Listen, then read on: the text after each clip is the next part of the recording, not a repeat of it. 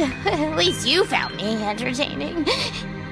You actually liked me, didn't you? What am I doing?